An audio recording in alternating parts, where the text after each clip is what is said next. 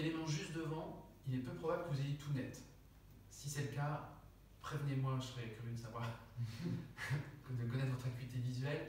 Mais personnellement, je dois faire, il y, a, il y a du flou, il y a profondeur de champ, des zones nettes, des zones floues. Et pour avoir euh, cet équilibre centre-périphérie, peut-être qu'il faut que je passe par cette, euh, cet effort physique. En tous les cas, c'est ce qu'on propose dans, dans le Hatha Yoga. Ça a ses limites d'être un consommateur euh, qui se pose pas de questions et d'arriver dans les centres d'art en, juste prenant ce qu'on nous, nous, donne et puis après on s'en va. Et il y a nettement il y a nettement la souffrance au travail et, moi j'ai envie de comprendre d'où ça peut venir et, éventuellement participer euh, tout en disant peut-être que ça va, ça ça va aussi me bénéficier parce que je, pense que je, travaillerai peut-être mieux dans des endroits où les gens travaillent bien de base. De partage, de, euh, de, de, sentiments et d'exercice de ce sentiment d'égalité entre les, personnes au sein de l'expérience artistique, esthétique, qui représente a priori euh, le monde dans lequel on vit, notre société, ainsi de suite, et donc de voir comment est-ce que l'un euh, peut influencer l'autre ou inversement. D'artiste euh, femme issue du tiers-monde, c'était le titre de l'exposition. Et en fait, ça intervenait à un moment où les personnes racisées, les racisées, enfin, femmes racisées aux États-Unis, et principalement à New York, avaient très peu de visibilité sur la scène artistique et subissaient, bah, comme on sait, d'oppression au sein même du mouvement féministe, en fait, qui ne reconnaissait pas en fait, sa propre visualisation de l'exposition. Euh, et, sur ces questions d'abus, je trouvais ça assez intéressant parce que euh, j'ai l'impression en fait que c'est quelque chose qu'on nous dit en permanence qu'il y, a des abus dans notre secteur, mais euh, c'est comme si on disait aussi qu'il fallait s'y habituer. J'ai fait un stage, c'est un simple exemple pourquoi en fait je suis très contente d'être ici et de parler de l'abus précisément parce qu'en fait lors de cet stage on voulait mais, me faire en fait une machine de guerre en fait. C'était avec un artiste qui, euh, qui, euh, a pris un peu cette euh, dynamique de production de l'art. Et même si c'était quelque chose, enfin même si c'était quelque chose de très enrichissant, j'ai décidé d'arrêter cet stage parce qu'en fait je ne pouvais plus supporter un peu cette pression d'être vraiment machine de guerre. Des deux côtés de la barrière à cette question de la souffrance au travail, à la fois en ayant tout à fait conscience de, l'imposer, en tout cas de la générer, et puis en même temps en la, souffrant. Et, et je trouve que le secteur culturel, et peut-être le secteur associatif plus largement, mais moi je connais vraiment un secteur culturel, euh, il y a une vraie dichotomie, ou en tout cas une vraie problématique, je reprends ce que disait Dominique, entre ce qui peut être affiché, que ce soit des valeurs, des propos, des envies, des projets, et des fonctionnements.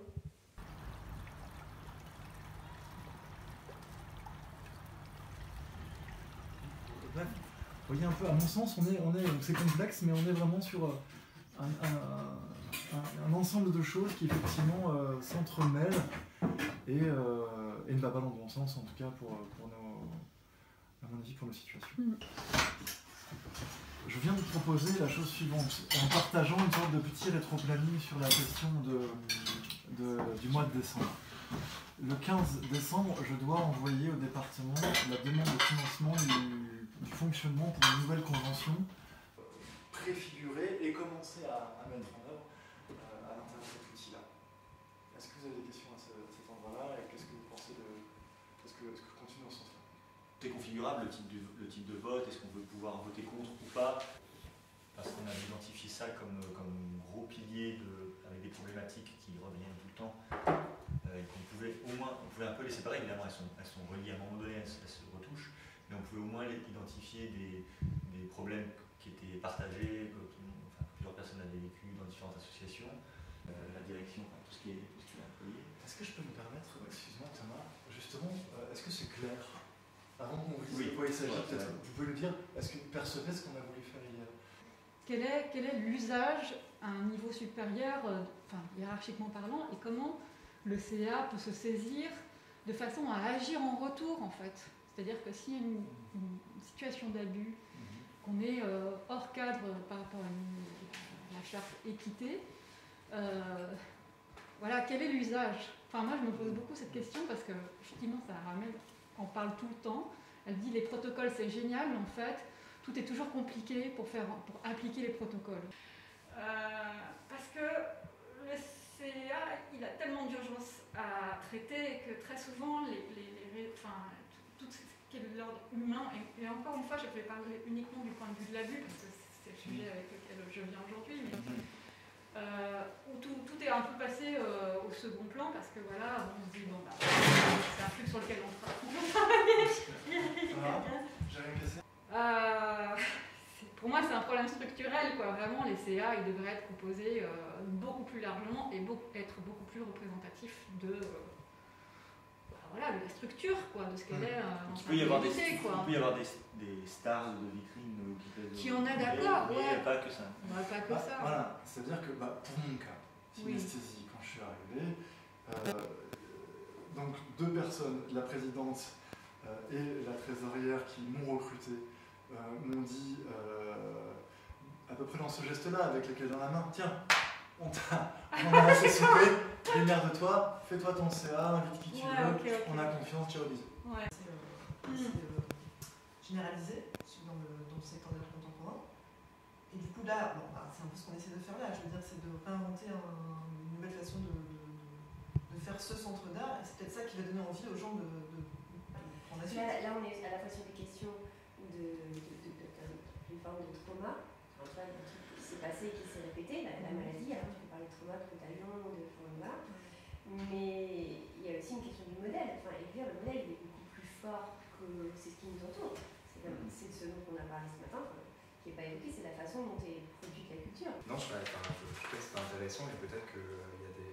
Enfin, vu qu'il y a une récurrence dans les schémas qui se sont déjà passés, euh, nocifs et tout ça, il y a peut-être des. Enfin, ce qu'on appelle en anglais des trigger warnings, genre des, des- des- des espèces de balises qu'on met en fait euh, euh, dans le schéma pour montrer qu'en fait, euh, à partir du moment où on commence à entrevoir qu'une situation se reproduit sur ce qui a été fait avant, euh, on y coupe court tout de suite, on trouve un dispositif qui est adapté tout de suite à celui-ci, et du coup ça permettrait de- d'envisager la chose de manière très contextuelle, dans une temporalité très proche et très localisée à certains endroits, euh, et d'éviter que après le problème en fait se, propage, se diffuse comme un virus, de couper directement la tête pour éviter qu'après ça, ça, ça, ça, ça prolifère. Euh, ça permettrait en fait une, une diffusion et une propagation de ce problème à différents pôles et d'essayer de trouver une solution ensemble. Donc je pense que c'est une bonne idée, après avoir, la- comme je dis, dans la symbolique et dans la représentation de cette personne-là, euh, qu'elle soit bien identifiée pour tout le monde et qu'elle puisse bien euh, communiquer de la bonne manière enfin, vis-à-vis des Ça deux dire qu'il y a des protocoles pour s'adresser à ces personnes-là en tant que fonction, Ouais. qui sont, sont des bénévoles, et ça voudrait dire qu'effectivement ils sont identifiés dans des statuts, donc c'est gravé dans le marbre, et que lorsqu'on rentre dans le CA, on prend une place vacante où on rentre pour ça. Hmm. C'est-à-dire qu'on rentre pas dans le CA, on rentre parce qu'en fait on a identifié qu'il y avait cette place-là et que ça nous intéresse. Ah, C'est pas mal aussi parce que ça nécessite, euh, tu vois, que ce- cette personne s'engage vraiment sur ces, ces sujets. Parce que très souvent, euh, les membres du CA, ils sont un peu. euh, bon, voilà, on sait quoi. Alors, par ailleurs, moi, je, je me demande s'il n'y aurait, pas- aurait une idée de, de- de coopérative à créer entre plusieurs centres d'art, qui auraient par exemple la même taille. Attends, je vais tomber de ma chaise. Je, faut que j'arrête tout de suite. Non, non, j'adore, j'adore les deux. Ouais, mais, euh, je, Je m'attendais tellement pas à ça. Ok, bah, alors j'ai l'impression- enfin, comme, on parlait de virus et de, de maladie un peu, Oui. je suppose que euh, ce, ce n'est pas le seul centre d'art euh, qui est soumis à ce genre de, de problématique. Et du coup, je me dis, si euh, d'autres centres d'art, en fait, ça, ça rejoint l'idée du, du. Ouais, ouais. C'est juste que d'élargir un peu le problème, du coup d'en faire un problème plus commun, qu'on essaie de résoudre ensemble. Il y a peut-être un centre d'art qui aura trouvé une solution sur un problème que, que le centre d'art numéro 2 euh, patine parce que, je sais pas, ils n'ont pas trouvé de chemin. Et du coup, essayer de mettre en commun, euh, c'est c'est un genre ça en fait.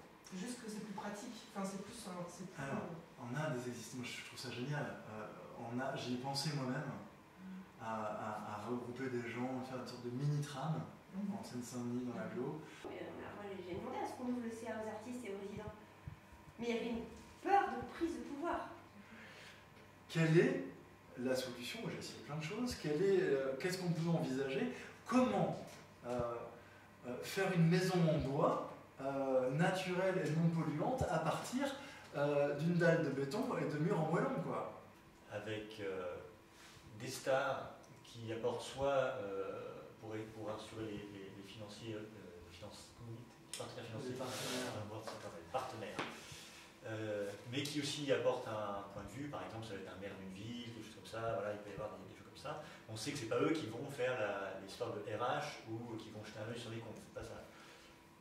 Il faut des gens qui, euh, qui dans, ce, dans, dans ce tout-là, il faut des gens qui soient, peut-être rien à voir avec le, avec le, le- avec le, le programme, qui soient évidemment intéressés, mais vraiment qui aient des métiers qui n'ont rien à voir, mais qui ont une disponibilité et surtout que ça leur apporte quelque chose de plus. Parce que si on est artiste et qu'on est dans le CA d'un centre d'art, a quelque part où c'est art-art, quoi. Il y a quelque chose Effectivement, la direction peut estimer par rapport à tout ça, ils n'y comprennent rien.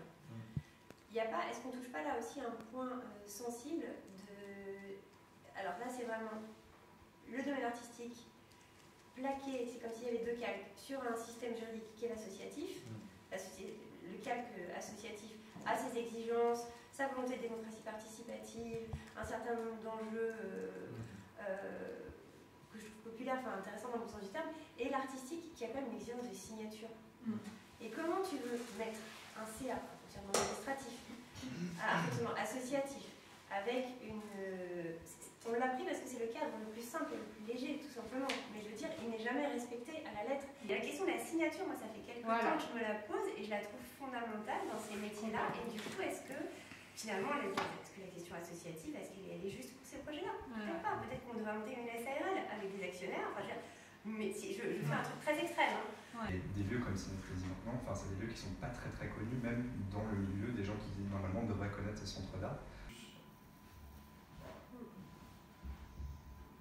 Pourtant, elles étaient ciblées. Dans mon cas. Julien, Oui, Yves je ne sais pas si je peux juste interrompre un, un petit moment. Bien sûr, si, au contraire.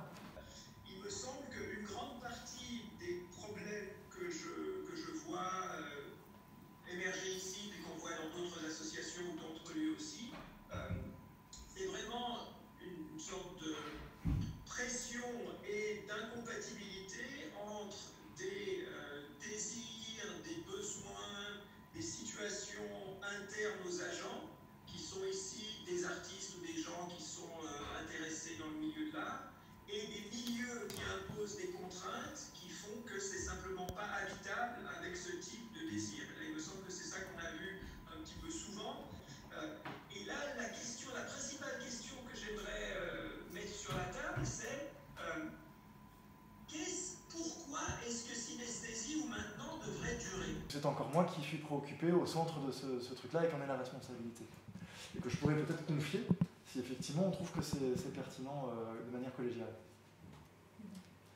Et, euh, et c'est malheureusement comme ça que ça fonctionne. Un appel à projet sur euh, les hôpitaux et la culture, ah ben tiens, on va se spécialiser sur ce projet-là avec les hôpitaux ou la prison ou les écoles et machin et ainsi de suite. Il advienne qu'il pleuve, qu'il neige, qu'il vente ou qu'il y ait un gros étron devant la porte, on nettoiera. Et on avait un cas comme ça, on a parlé. Et du coup, euh, eh bien, on, a, on est là, on est ouvert. Et ça a fonctionné, on a créé une habitude avec les gens, les voisins, et ainsi de suite. Et c'était intéressant. Parfois, on était, c'est arrivé, trois, enfin trois personnes du public seulement, mes frères et sœurs, et euh, j'exagère, pourquoi pas? Et parfois, eh ben, on savait plus, on n'avait pas prévu qu'il y ait autant de monde en fait. Et il y avait les voisins qui étaient venus, qui disaient Ah, mais alors c'est quoi ce bordel? Est-ce que c'est pas là une solution pour. Effectivement, euh, c'est le mot substantiel que, je remets là sur la table. À partir de la résidence, créer ces événements et les sculpter avec, en allant encore plus loin que, ce que j'avais un peu mis en place, euh, c'est-à-dire vraiment en, partant du principe que les artistes en résidence sont associés à une série d'événements Moi j'en parle en tant qu'étudiant et tout ça, c'est quelque chose qui, occupe une place hyper importante dans, nos débats sur comment on se positionne dans la société et qu'est-ce qu'on qu'est-ce qu'on offre et pour quel public. Je pense que c'est un enjeu central et que ça doit être euh, en fait au, cœur même enfin, du, du- du projet d'un lieu. Ils proposer quelque chose, s'ils veulent pas, bah, comme ça ce sera réglé. Vous trouverez soit de moyens, soit ça, ça se termine et puis il y a d'autres choses qui se passent dans la vie. Et, puis, et c'est peut-être c'est un retour, peut-être c'est une déclaration, on revient à un truc punk dans les lisières, dans les marges, mais d'être, vous voyez, c'est ce moment où on gagne, on, on- on monte le projet, au bout d'un moment on est con, vous fait bouffer aussi par, par un jeu de cours. Quoi. Là c'est comme si tout le monde était à la cour du roi soleil, euh, qui est euh, l'argent public quelque part, ou le financement, et je crois que c'est c'est délétère à mon avis. Et c'est vrai, c'est un vrai problème, c'est une des raisons pour laquelle j'arrête. À un moment donné, je- j'en ai marre d'être incohérent.